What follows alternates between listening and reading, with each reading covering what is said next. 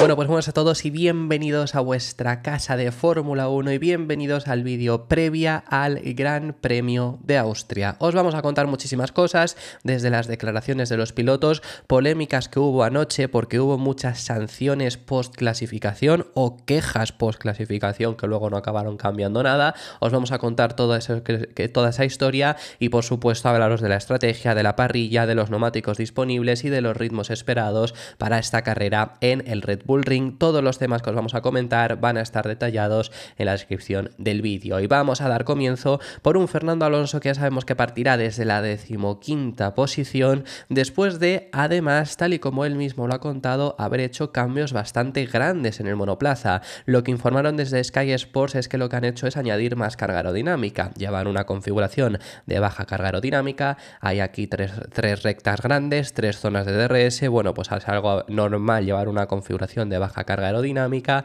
después de la sprint y de la cual y al sprint optaron por cambiarlo a una configuración en la cual encima el cuidado de los neumáticos debería de ser algo mejor, no estoy diciendo que esto les vaya a venir bien para la carrera, que vaya a ser mucho mejor rendimiento, pero sí que obviamente cuanta más carga aerodinámica tienes, pues suele ser habitualmente mejor para ese cuidado de los neumáticos y sobre todo el final del segundo sector y todo el tercer sector deberías de poder rendir bien, que era donde más flaqueaba el Aston Martin. El cambio de configuración lo hicieron en los dos coches y en los dos coches no fue bueno, porque además aún así, sobre todo donde aquí se gana más tiempo, es en ese segundo sector, el tercero también es bastante definitorio, el primero suele ser bastante parejo todo el mundo, pero si en el primero la pierdes tiempo, en el segundo, el comienzo del segundo sector también pierdes tiempo porque tienes más carga aerodinámica. Bueno, pues se la jugó Aston Martin, no les ha salido bien, veremos en ritmo de carrera si les sale bien, pero al final han pasado de decimosegundo y decimotercero a ser decimoquinto y decimoséptimo. En clasificación también quizá provocado porque los rivales también han hecho cambios de configuración y ellos sí hayan acertado.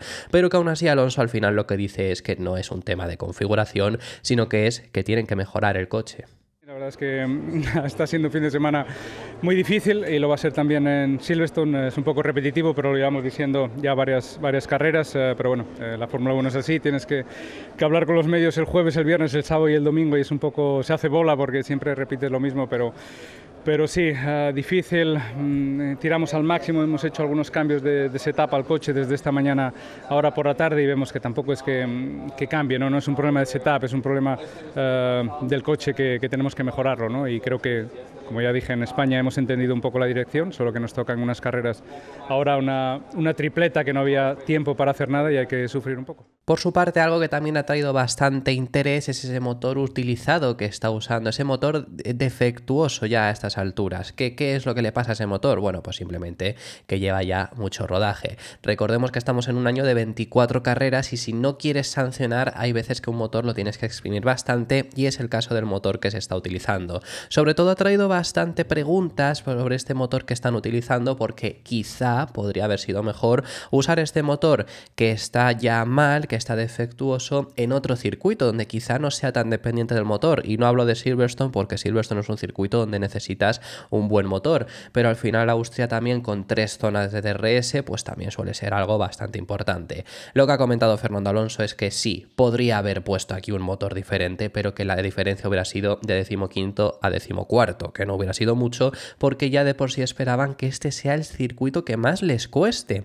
Que yo por características las características de antes por lo menos, porque estamos viendo que efectivamente sí les está costando, no creía que fuese a ser el circuito que más les costase. Es un circuito con rectas, es un circuito con zonas de DRS, no tiene mucho sentido. Para mi modo de verlo, para mi modo de entender el AMR24, Silverstone les iba a costar más, Barcelona les iba a costar más, pero no está siendo el caso, que es que es, es impredecible este AMR24.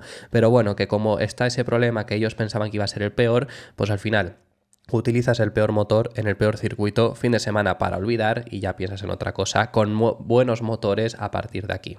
Este motor tiene que hacer una carrera, si no, no cuadran las cuentas de las 24, entonces podemos cambiar aquí y en vez del 15 hacer el 14, pero eh, creemos que, que, esta es la, la, carrera donde peor eh, nos, nos, va a ir seguramente, entonces eh, intentamos utilizar el peor motor aquí también. Además, también estuvo bastante cerca de irse contra el muro, comentó Fernando Alonso por radio cuando acabó la clasificación y le preguntaron acerca de esto. Lo que dice es que todo el año han estado conduciendo por encima del rendimiento real, por así decirlo, de la MR24 en clasificación. A principios de año le daba para ser tercero en China, por ejemplo, ahora para ser decimoquinto, pero que están rindiendo muy por encima del límite del coche y eso te lleva a que haya momentos en los que casi se llega a golpear. Recuerdo que, por ejemplo, esto también salió diciéndolo en Japón, lo único que en Japón fue quinto, aquí decimoquinto.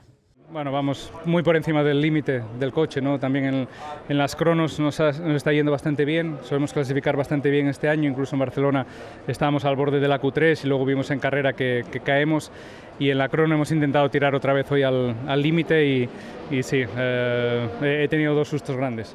Las expectativas claramente para la carrera pues tampoco son muy buenas, por supuesto. Lo que ha comentado Fernando Alonso es que la posición de puntos ni siquiera es algo ahora mismo que se merezcan y que el objetivo al final es intentar acabar llegando ahí, pero van a necesitar la ayuda de los rivales. I think it's going to be difficult. I think uh, to be in the points uh, at the moment is maybe not uh, the position we deserve, so we just need help from, from the others in front. That may happen. This is Austria. Uh, maybe a lot of things will, will happen tomorrow, and uh, we need to stay focused. We need to see the checkered flag, and uh, hopefully, yeah, last few points will be in our in our table. La situación de Ferrari no es mucho mejor, sobre todo porque es que además también han caído para atrás, siendo superados por mínimo, mínimo McLaren y están ahora mismo peleando con Mercedes cuando tenían una gran ventaja frente a ellos. Comenta Carlos Sainz que también de la carrera al sprint a la clasificación, que esto, repito, lo han hecho todos, cambiaron mucho la configuración, todo el mundo lo ha cambiado por supuesto, y en el caso de Ferrari lo que ha comentado Carlos Sainz es que ha sufrido mucho más aún, que el objetivo era dejar de sufrir de esto, pero ha sufrido mucho más de rebote, que el Ferrari está volviendo a sufrir de ese rebote bueno, al final están buscando sacar rendimiento por pura configuración y al final lo que provocas es eso, ¿no? Que te salga ese porpoising, no es el porpoising que había en 2022, pero sí que le rebota bastante el monoplaza y que el objetivo al final, bueno, pues por lo menos se ha conseguido colar entre los Mercedes. Sí, estamos probando como equipo a cambiar un poco el coche a ver si que nos deshacemos de este fenómeno ¿no? que nos está eh, machacando un poco aquí en las curvas rápidas, tanto aquí como en Barcelona estamos sufriendo mucho.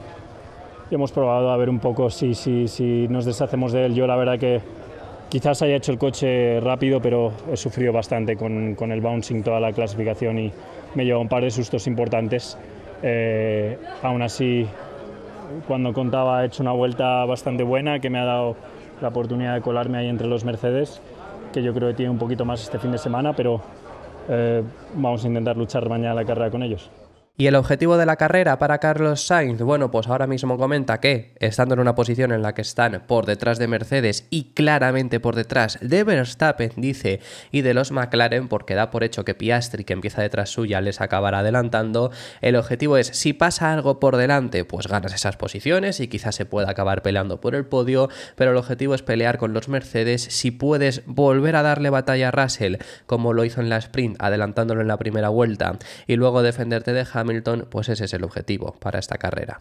Max está en otro planeta, no sé que pasen cosas delante mañana entre él y Lando, pues eh, yo creo que McLaren y incluso Piastri mañana en 70 vueltas, dos paradas, tarde o temprano, el McLaren nos, nos pasará.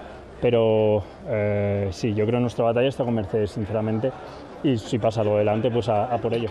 En Mercedes el objetivo es bastante diferente y Hamilton, que sale justo por detrás de Carlos Sainz, no tuvo la mejor clasificación de todas, sobre todo en comparación con su compañero de equipo. Russell clasificó tercero, Hamilton cae hasta la quinta posición, aunque por distancia en ritmo fue muy pequeña y Hamilton lo que comenta es que sueña con el podio, que la carrera al sprint no fue muy buena, no fue muy buen ritmo que tuvieron, no pudo adelantar a Carlos Sainz ni siquiera cuando Sainz se quedó sin DRS de Russell, pero que el objetivo han cambiado la configuración y esperan con estos cambios de configuración que les venga bien en gestión de neumáticos, en ritmo de carrera, para así poder pelear por el podio. Los ajustes que hemos hecho en el coche deberían ayudarnos en la carrera. Por lo tanto, espero que tengamos mejor ritmo de carrera que el que hemos demostrado en el sprint.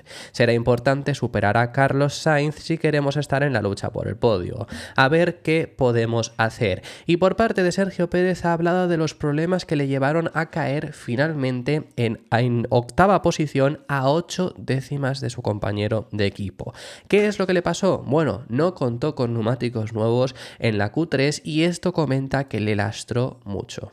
Well, uh, it did. Unfortunately, uh, we, we were not, we didn't have the margins early on in qualifying. Um, it was everything so tight that unfortunately we ended up using more, more tires than we wanted, and um, we arrived into Q3 without any any tires. Every, given how the margins were, I think uh, it was four tenths from P2, and I was on a scrub tire. So I think uh, today we could have done a lot better, but unfortunately, yeah, we I think we were not safe enough to to save a set into, into qualifying. Y sí que es verdad que, por supuesto, con neumáticos usados tu ritmo es peor, pero el cambio de usados a nuevos no te hace recuperar ocho décimas.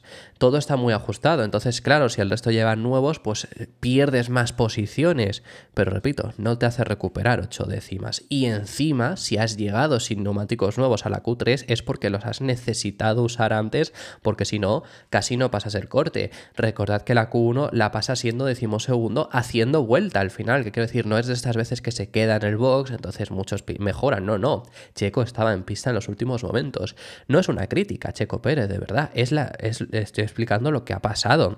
Eh, Checo Pérez ha tenido una peor clasificación por no tener neumáticos nuevos en Q3, pero es que los ha necesitado para llegar a la Q3. El ritmo de Checo pues no está siendo, desde luego lo estamos viendo el mejor. Así que bueno, ¿qué expectativas tiene para la carrera? Lo que él ha comentado, le han preguntado sobre si puede remontar. El año pasado remontó, saliendo incluso clasificó en Q2, tuvo problemas de límites de pista el año pasado, no pasó el corte, así que pudo acabar remontando hasta la tercera posición, pero la situación es muy diferente donde todo está mucho más ajustado, saliendo octavo, casi que diría que el objetivo, si puedes pasar algún Ferrari, va a ser ese. I think it's going to be everything really, really close uh, out there tomorrow. So it will be an interesting battle, I think, uh, tomorrow. En el otro lado del box, por parte de Max Verstappen, pole estratosférica la que fue capaz de hacer. Es más, os vamos a poner ahora mismo en pantalla la diferencia por, visualmente entre Verstappen y Norris.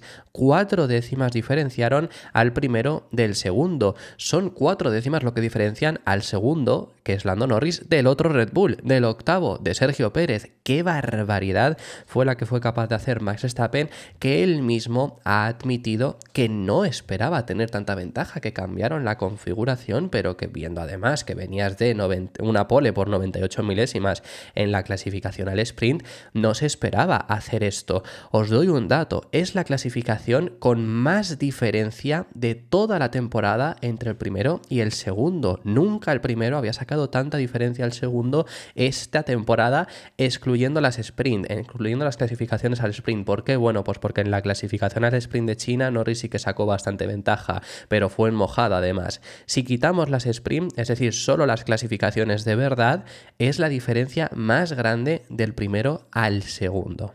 Yeah, it's been good. You know, the whole qualifying was, was very nice. The car was really hooked up after the changes that we made, you know, after sprint uh, qualifying, or the sprint race, sorry.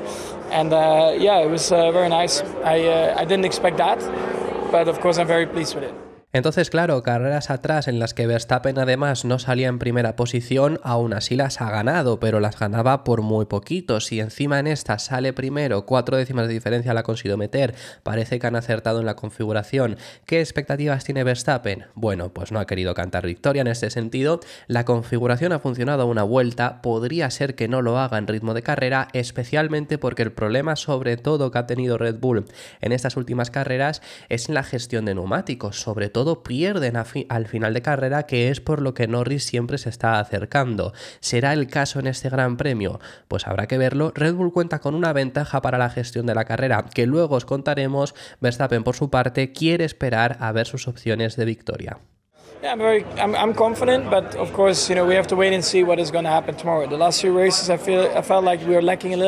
Tomorrow. This morning I think was already quite positive, and hopefully with the things that we change on the car, it will it will support that uh, even more. Ahora bien, Verstappen quiere esperar a ver sus opciones de victoria, pero es que viendo las de su rival, viendo la cara que tiene Lando Norris después de caer segundo, la verdad que es que prácticamente le está dando la victoria, porque Lando Norris salió con una actitud para mí bastante mala, le vais a ver ahora, le vais a escuchar también la forma que tiene después de clasificar segundo, que aún así has clasificado segundo, está viendo que le está perdonando bastante, ya estaba así, sobre todo después de la carrera de sprint, donde perdonó la victoria, porque la carrera del sprint la podría haber ganado si no le hubiera vuelto a adelantar Verstappen sin DRS cuando justo Norris le había adelantado. Si no se hubiera permitido ahí el adelantamiento, si lo hubiera podido defender, le habría seguramente ganado.